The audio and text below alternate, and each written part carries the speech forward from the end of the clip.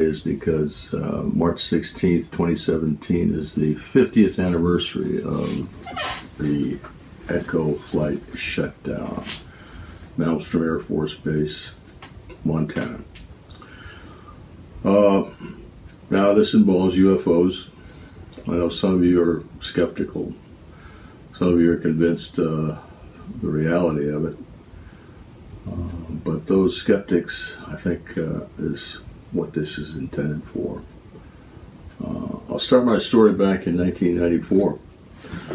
Um, I was in Seattle, Washington, uh, going through a bookstore, and I happened to pick up this book. It's called Above Top Secret by Timothy Good. Uh, and I was browsing through the pages, as I usually do. I happened to turn to page 301, and I was able to read this small paragraph. I'll read part of it to you. In the spring of 1966, the Command and Status Consoles uh, at a launch control center in Great Falls, Montana, indicated that a fault existed in each of the 10 missiles simultaneously. It goes on to say that um, the missiles were shut down, and uh, it also talks about an identical incident that occurred the week of 20th of March, 1967. Uh, it mentions the name of Ray Fowler. So this was written by Timothy Good, but he got the information from a man named Ray Fowler. So I want to emphasize um, here's a couple of people that got involved. And this is not just my story, but it's a it involves a lot of people who took the time and commitment to get involved in telling this story. Um, well, let me tell you a little bit about uh, Ray Fowler, uh, one of my heroes.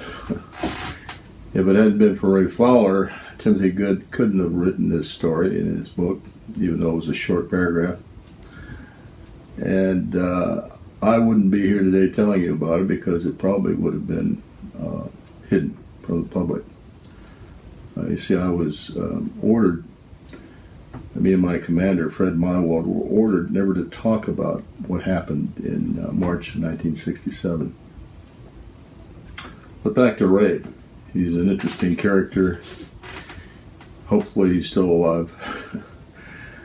but uh, he was involved in UFOs at the time of the incident. He was uh, uh involved with a, a group that was studying the subject but he was also working for Sylvania at the time. Sylvania had a contract with the Air Force on the Minuteman missile and uh, the electrical contract. And he had people working for him that were at Malmstrom Air Force Base in uh, March of 1967. Uh, when the Echo flight incident, which I'll speak about later, occurred, March 16th, 67, uh, his people notified Ray that this was indeed a UFO event. And um, in fact, one of his people had actually seen the object. Uh, Ray kept this quiet for some time. Um, he had uh, his job to be concerned about, and uh, so Ray did not discuss this, what he had heard, uh, until about 1972. Uh, in fact, Ray had contacted the uh, Condon investigators, uh, a man by the name of uh, Roy Craig was the chief investigator. Uh, shortly after this occurred, the uh, Echo flight shut down. now, the Condon investigation was University of Colorado investigation on UFOs started in 1966. I'll talk about that a little bit more later. Um, but Ray with his interest in UFOs, uh, contacted the uh, Condon investigation team and told them about the Echo and Oscar incidents. Uh, we'll we'll get into that a little bit more later, but uh, because the Condon investigation did not follow through uh, and investigate the, these incidents thoroughly or issue a report on what they discovered. Uh, Ray decided to go public in 1972. And at that time, he gave an interview to the Christian Science Monitor, I believe it was 72. Um, and that's how the story was actually written early on, 1972. And I think that's where Timothy Good got the story to, to publish. so, Mr. Fowler, thank you. If it wasn't for you, uh, I couldn't tell the story. After I read this paragraph in uh, Timothy Good's book, uh, I immediately got uh, the thought that uh, maybe the Air Force declassified this incident and I could go ahead and start talking about it uh, if given the opportunity. Um, I decided to try to get some documents to back me up. and by the way, um, the incident was still very hazy at this time in my mind because um, so much time had gone by. I had um, made a conscious effort to try to forget some of the details because uh, I was obliged never to talk about it in writing. So, first thing I did was uh, contact MUFON and uh, see if I could get an investigator to try MUFON is a mutual UFO network. Uh, try to get some help in getting these documents, uh, submitting a, what's called a Freedom of Information uh, Act request. And that's when I met James Klotz. James Klotz, hands down, the best UFO investigator I ever met. Uh, we started collecting documents from the Air Force under the Freedom of Information Act back in 1994. Uh, I asked James not to uh, mention UFOs and um, I just asked for any documentation uh, the Air Force might have on the Echo Flight incident. At that time, it was my belief that I had been at the Echo flight because of the way it was described in uh, Above Top Secret. Uh, so the Air Force wrote back and said uh, this was a classified incident. However, it's been past, I think, the 12 year uh, limitation for holding it as classified, and they decided to go ahead and release some documents on the Echo flight shutdown and that is when I, we received those. Uh, that's when I decided to go forward with this story, and it's been a long journey. I've talked about this for over 20 years now, uh, and I think I uncovered uh, quite a bit of information, and facts, which I'll relay to you. Uh, first part of this will be um, discussing the Echo flight incident and uh, I'll present here a recording by Colonel Walt Figel, who uh, happened to be there when this Echo flight incident occurred. He was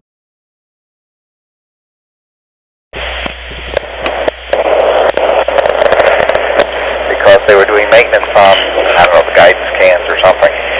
And uh, the maintenance crews were staying over, and there were security and maintenance on site on both, uh, uh, those, on two of the ten sites. And when the first one went down, I talked to the security out there, they had reported this UFO hovering over the site. And I said, yeah, right, what are you guys drinking out there? And we struck uh, strike teams to both of the sites that had been occupied. And uh, both strike teams, I didn't tell them what we had heard, uh, you know, via the, the LF radio. And I told them to you know, go to get within a mile of the site and call back in on the VHF. And uh, they both had uh, reported it too. So we had two maintenance crews, two security troops on site, and two strike teams all reporting it. Is that right? Yep. Do you remember any of the names of any of those guys? Nope. You don't?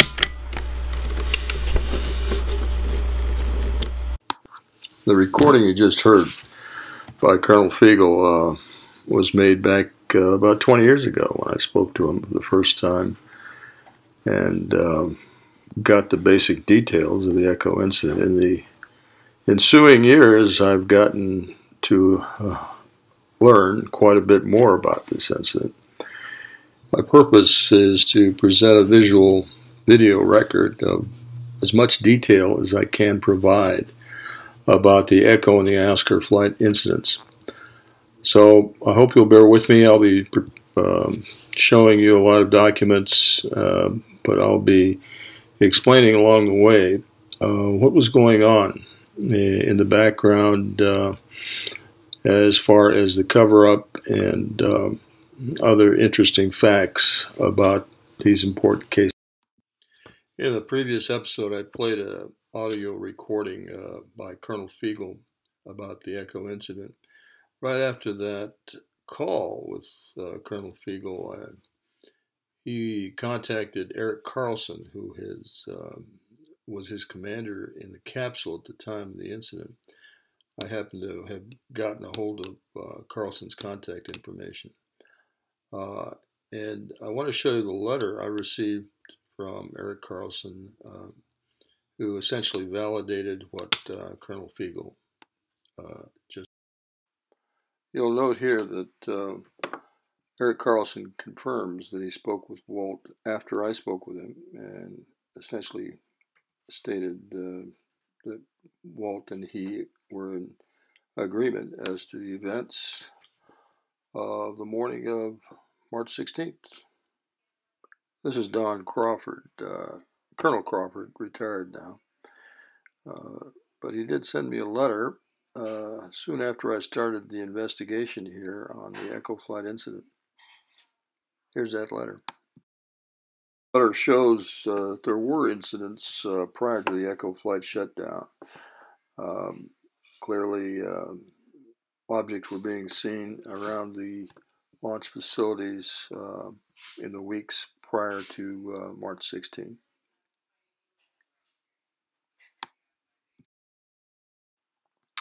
One of the first documents we received from the Air Force under the Freedom of Information Act was this uh, telex that stated the announcement of all 10 missiles in Echo flight going down within 10 seconds of each other. Uh, and it was uh, very unusual. They could not understand why this happened. They they noted that each of the guidance and control computers uh, in all the missiles separately had to shut down. And it also mentions that this is of grave concern to SAC headquarters. This telex basically kicked off a highly secret uh, investigation of the shutdowns, as you will see in, in subsequent documents.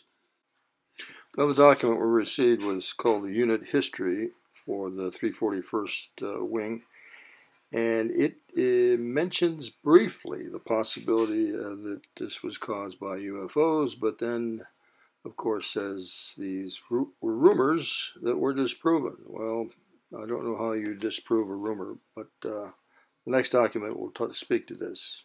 One of the first solid indications we got that there was an ongoing cover up was this letter from David Gamble, who uh, actually authored the uh, unit history that I just showed you. In here, he says uh, he doesn't remember anything about uh, rumors of UFOs being disproven, and he adds that um, there were a couple of times when editorial changes were made to this unit document. Uh, one of those was when UFOs were cited. So this was not the first instance, and it shows that there was an ongoing cover up of this phenomenon. In response to that telex sent out by SAC headquarters about the importance of this investigation, uh, Boeing set up a team. Uh, Bob Kaminski was the team leader. He uh, sent us a letter uh, explaining what went on in that investigation. He indicates here that he did not file a final report. And the reason will become evident here shortly. Um, the investigative team did not find anything significant to report. They could not explain it. Uh, but meanwhile, they were also told that this was a UFO event. And this came from many people in the field who had seen the objects actually uh, during uh, one of the incidents, at one of the launch facilities. Uh, they were later told not to write a final report, which was very strange because Boeing, of course, had the contract to uh, investigate this. Uh, but it'll become more evident in the next segment. In this episode, we'll get into the heart of the cover up that was going on. Uh, I, I call it a collusion between the Condon Committee and the Air Force at the time of the Echo and Oscar flight. Graph of Dr. Edward Condon, who was awarded a contract uh, for study of UFOs by the Air Force in 1966. It was a so-called scientific investigation. It was neither a scientific nor a thorough investigation. The Air Force study awarded to the University of Colorado was supposed to be a cooperative effort and uh, full cooperation from the Air Force. In fact, it was not. This letter was written by J. Edgar Hoover, and in it, it states categorically that he believes Condon to be uh, no less than a Soviet agent. A little more of the history of Edward Condon. 1943, he was uh, on the Manhattan Project, the first atom bomb project, but had to leave uh, due to some security violation not known. Uh, in 1946, he was appointed by Harry Truman to head up the National Bureau of Standards. Uh, at that time, they handled uh, nuclear weapons projects. Uh, 1949, he was accused by J. Edgar Hoover as being a Soviet spy. In the ensuing uh, investigation of that, he lost his security clearance. In 1966, he was approached by the Air Force to head up the their UFO investigation, uh, and he was offered uh, the return of his security clearance if he would accept the project, and so he did. This was Condon's chief investigator, Roy Craig. Uh, he would play a pivotal role in uh, executing the cover up. After Ray Fowler contacted Roy Craig about the UFO incidents at the missile sites, they met and Ray gave him information about the incidents. Craig went to visit Malmstrom to follow up. These are a couple of handwritten notes that Craig made for that visit. In the first note, item 3 refers to the Echo flight incident, but he has the date mixed up. He has the Echo flight shut down on the 24th, but it was on the 16th. The Oscar flight incident was the 24th. In the second note, he refers to a wave of incidents at Malmstrom. He was also given the name of one of the witnesses and refers to the Belt, Montana sighting. The witness, Mr. Rinaldi, saw strange lights twice, about a week apart, during the site, his site activation work, so he would have had, uh, been near the sites in question. I'd like to clarify the timeline of what I just discussed. The Condon investigation started in late 1966. Um, the Malmstrom incidents in March of 67. So right away they were faced with, with those major events. Ray Fowler meets with uh, Condon investigator Roy Craig in the late summer of 67. Craig goes to Malmstrom Air Force Base around October of 67. Now, what I haven't mentioned is that there was a meeting held in June of 1967 with what's called base UFO officers. These were officers uh, identified at various bases across the country that the Air Force agreed to make available to help the Condon investigators. Uh, more on that later, but these, this particular timeline is important uh, when we're talking about the Air Force cover up and collusion. This is a photo of Lieutenant Colonel Lewis Chase. He was identified as the base UFO officer by the Air Force during this period. He would have been responsible for working with the Condon investigation.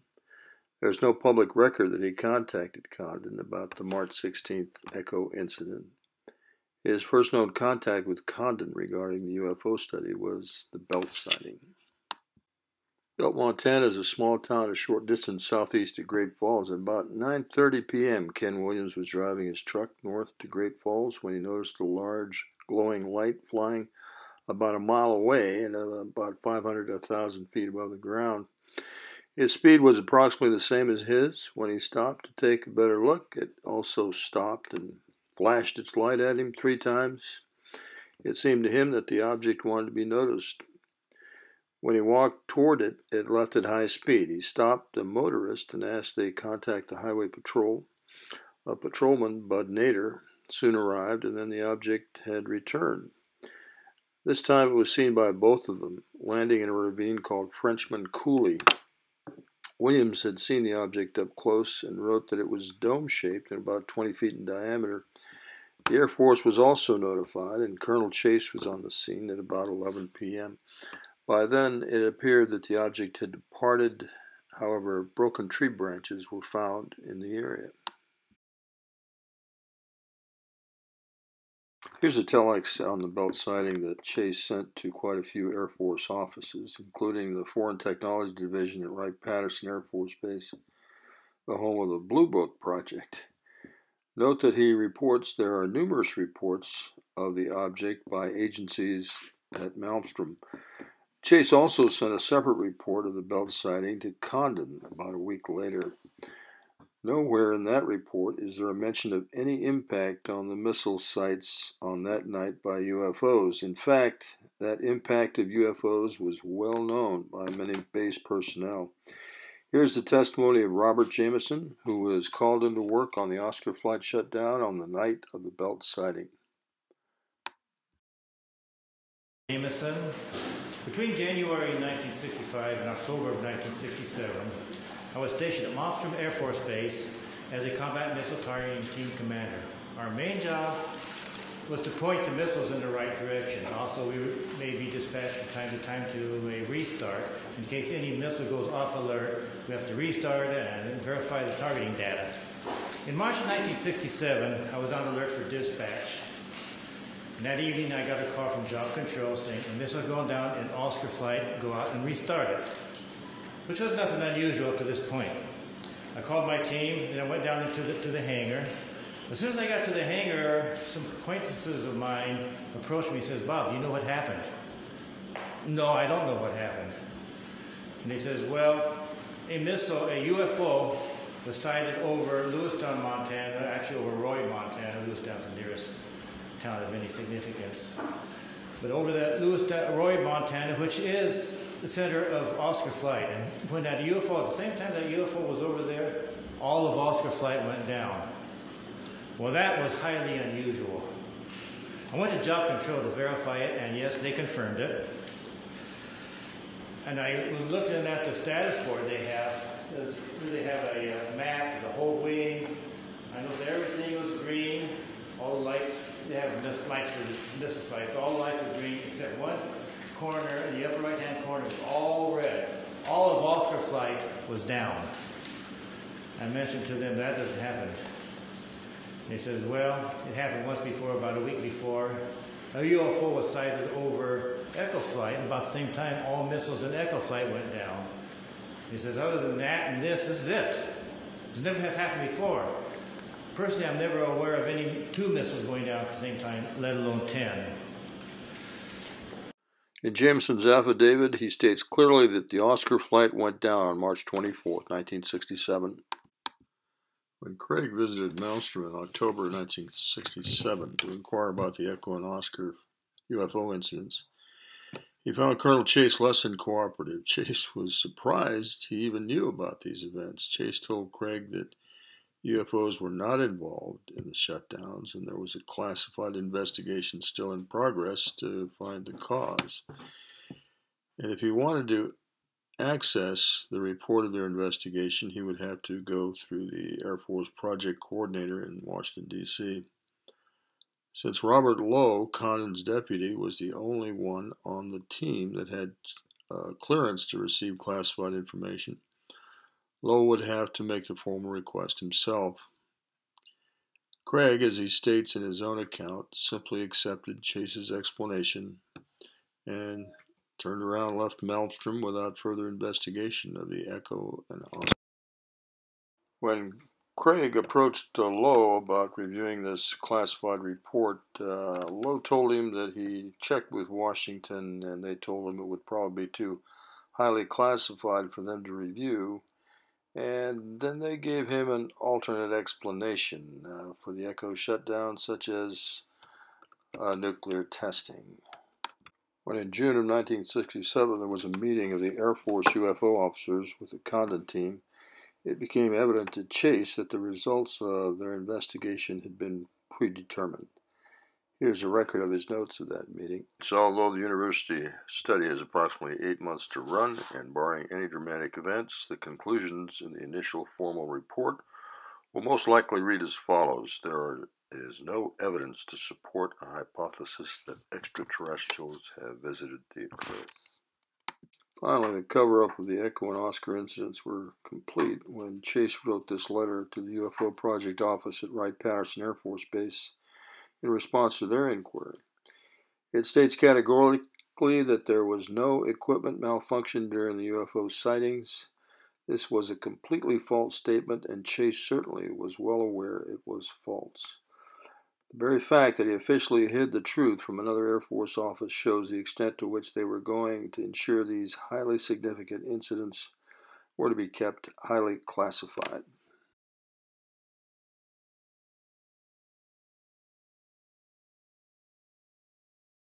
This is my part of the story. March 24th, 1967. I was on crew with Fred Meiwald. Here's a map of the missile field at that time. Uh, it shows Echo and Oscar flight circled. Uh, Oscar was near Roy, Montana. Photograph of Oscar flight. Notice the large front gate. This is where the uh, guard saw the object hovering. Cutaway view of our hardened capsule, about 60 feet underground and highly secured. We were uh, uh, required to stay in the capsule, uh, locked in uh, 24 hours until relieved by another crew.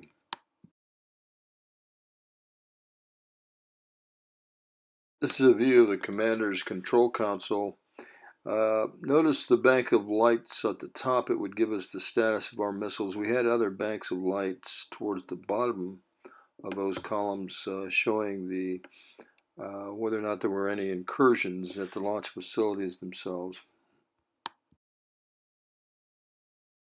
This is a view of the indicator panel that gave us a readout of um, uh, status of each missile separately. If we wanted more detail, we could press the button below uh, for any fault uh, details. After I started researching my story, it, it took me nearly two years to locate my actual commander in the capsule. I had had a hard time, like I said, remembering details, and I had forgotten his name, but finally located him, and here's what he said. I don't recall, I just remember our side of it. Yeah. Alright, here, here's the sequence I remember. I remember receiving a call first and and the security guard said, uh, I've seen some UFOs up here flying around and I said, uh, forget it. You know, I didn't believe them. I kind of hung up on him and then a little while later, I don't know how long it was, maybe five, ten minutes, maybe longer, uh, they called back and the guy sounded real scared and said there was one just outside the front gate. And uh, he, he also said, I recall, that uh, one of the other guards had gotten injured in some way. I, I don't, I don't think it was from the UFO. I think it was from uh, trying to climb the fence or something like that. Uh, and then I hung up, or he hung up because he had to go. This guard got injured, and then, and then I believe you were either getting up or I woke you up, and then some of our missiles started shutting down. Is that right? Mhm. Is that about how you remember it? Right. Yeah. We got security alarms and uh, Yeah, problems at a couple of the uh, sites. yeah. Okay. Okay. Well, I'm sure glad I found you. Any reports from their field about UFOs? So I remember the two guards that had gone out to one of the sites uh, he finally got back scared to death. We had to relieve him of duty. Yeah. Oh, you mean uh, our guards? Yeah, Oh, I didn't know that. yeah, and rhythm patrol type. Oh, I see. They had gone out to one of the sites, Uh, of the LFs, and on the way back they lost radio contact, and we ended up having to send them back to base early. Uh, I'm not sure what happened. I don't think they ever returned to uh, guard duty. And what were they scared about? Well, they had seen these crazy things. Then, Oh, they did. yeah, They reported that to you. I, I they reported it to the top side guy. oh, the topside guy. That's right. Okay. Okay. Okay. Well, interesting, don't you think? Yeah. Just to follow up on what Colonel Meiwald just said, uh, besides losing the missiles uh, to no-go condition, we also had indications of uh, incru- intrusion in the launch facilities. So we sent uh, guards out there. They saw the objects again, and that's what Fred just described. They came back uh, very frightened. More details of the incident at Oscar Flight and Echo Flight are in this book I wrote with James Klotz in 2005. It's called Faded Giant. Colonel Chase attended the June 6, 1967 meeting with Condon and the other UFO officers, he wrote a summary of the meeting. I don't know who it was sent to, but we do know what it says.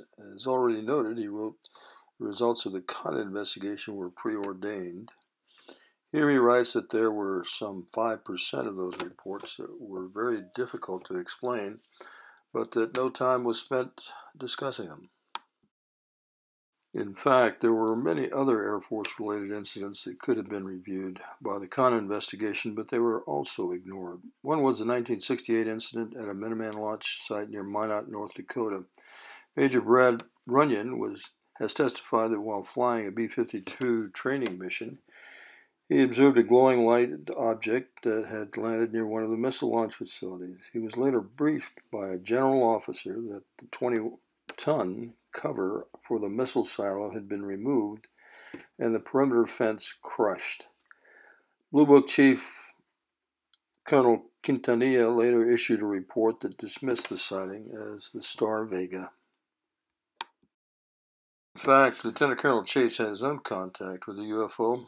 In 1957, while flying a training mission in RB 47 with a full crew, he encountered a UFO over the Gulf of Mexico. This is shown in the track here he took during the three hour encounter before landing in Kansas. the object harassed his aircraft the entire time. It flew at very high speeds directly at them before stopping on a dime. It flew circles around them, even disappeared and suddenly reappeared in different location. Most of this, uh, much of this encounter was recorded on radar, both airborne and ground. Of course, the crew witnessed it all. After landing, they were met by AFOSI, who interviewed the crew and took all the recorded evidence. The incident remained highly classified.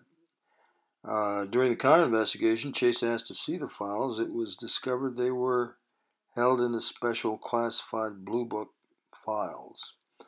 Until then, it was not known that Blue Book had even had classified UFO files. Of course, the Condon investigators did not have access to those. the incident, not the evidence, was later declassified only after the Air Force issued a decision to not continue to review or comment on UFO incidents. In 1969, the Air Force issued its final resolution of the UFO question. They decided to discontinue all investigations or public comment on reported UFO incidents. They cited specifically the findings of the University of Colorado study under Condon as rationale for that there was no evidence of extraterrestrial objects flying in our airspace or any threat to our national security from such objects. In light of the evidence I presented, this is exactly the self serving conclusion the Air Force had orchestrated. I must add that the cover up, disinformation, and extreme secrecy of this phenomenon does not start or end with the Air Force. In my mind, and many others agree, there must be an international secret community or cabal containing the truth of this phenomenon. As early as 1952, Major Don Keyhoe, who formed one of the first public UFO groups, suggested the existence of such a group. In a letter from Ray Fowler to Roy Craig, as shown here, he suggested the same. In fact, Craig later invited Fowler to join him in a confidential group studying the UFO question. Fowler declined. Uh, I am certainly convinced such a cabal exists. I have even tried to simulate in a sketch how such an organization could be constituted. Uh, I go into more speculative details in my book, Unidentified The UFO Phenomenon.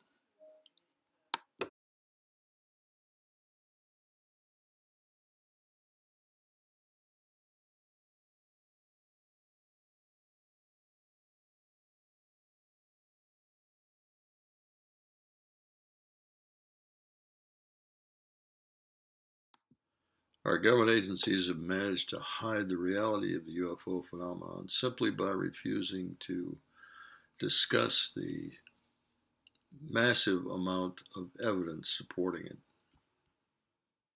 With respect to what occurred with our most advanced missiles in 1967, the Air Force admitted the high improbability of the events. They were able to isolate the cause of the shutdowns to a particular piece of equipment, the guidance and control system, logic coupler, and a particular signal that would have been sent to that piece of equipment in order to upset the guidance system and thereby disable each missile. However, each of the missiles are independent of each other. That particular signal would have had to be sent to each missile by penetrating 60 feet of earth and concrete and then penetrating cable shielded against electromagnetic interference with triple redundancy to all 10 missiles within 10 seconds of each other. Uh, we certainly did not have the technology to produce such a result or such an advanced flying object in 1967. If we had, it would have certainly been revealed by now. 50 years later, the only reasonable conclusion is that these objects were of extraterrestrial origin. There was another incident at Malmstrom that I think further justifies this conclusion. I have had contact with another witness for many years. Because of employment concerns, he's chosen not to reveal his name publicly. I consider him highly credible. I'll call him Tex.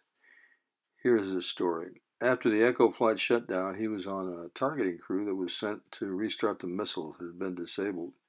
While Tex was in the maintenance bay at one of the sites, shown here, going through his startup procedures, the guard signaled him to come topside. The guard was frightened and pointed to an orange ball of light directly above the site. Tex told the guard to report it, and undeterred, he then proceeded to continue his startup procedure. While going through this procedure with the object hovering above, he would arrive at a particular point in his checklist and the missile systems would shut down.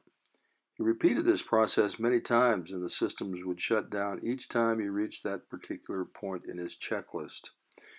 He was only able to complete the startup procedure when the orange ball left. He also stated that while the object was overhead, he could sense something he described as a rope of static electricity coming down the launch tube he further concluded that the object must have been closely monitoring his procedures and had an in-depth understanding of how the missile systems worked in order to effect the shutdowns exactly at the time he completed certain checkpoints and during multiple repetitions of those procedures. For him, it was a clear display of their knowledge of our nuclear weapons technology. I think it is long past time to have an honest and open dialogue about this very real phenomenon. If our Congress would simply hold hearings on the evidence available from public testimony on the reality of the UFO phenomenon, that evidence would be overwhelming. I've sent my congressmen and senators a message today with links to these videos. I hope you'll do the same. Thanks.